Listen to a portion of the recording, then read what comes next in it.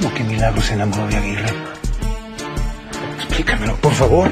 No, no, no, ahora no, por favor, ahora necesito saber dónde está Milagros. Él es ese hombre que jugó con los sentimientos de mi hija. No, no, las cosas no son así. Déjame que te explique, por favor. Alejandro, cálmate, por No favor. puedo calmarme. Tú lo justificas porque es tu pareja. Pero él es el responsable de que nuestra hija esté llorando por todos los rincones. ¡Lo voy a matar a ese! No lo puedo creer. ¿No le bastó con quitarme a mi esposa? Ahora me quiere quitar a mi hija. Juan Manuel no te quitó nada.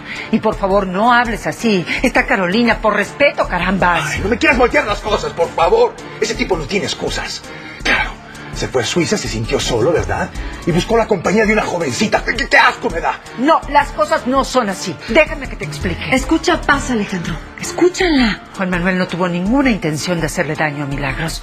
Fue una casualidad, una jugarreta del destino. No quiero que me expliques nada, no voy a cambiar de opinión. Bueno, y sabes una cosa, estoy harto de Aguirre. Es- Estoy harto que esté metido en todo. Estoy harto que se meta con mi familia. Mira, yo ya no voy a discutir contigo porque lo importante en este momento es saber dónde está Milagros. Voy a hablar a la casa. No, ahora no. Necesito que me expliques cómo fueron las cosas. Bueno, vámonos ya. Alejandro, por favor, sí. Tranquilo, todo va a estar bien, ¿ok?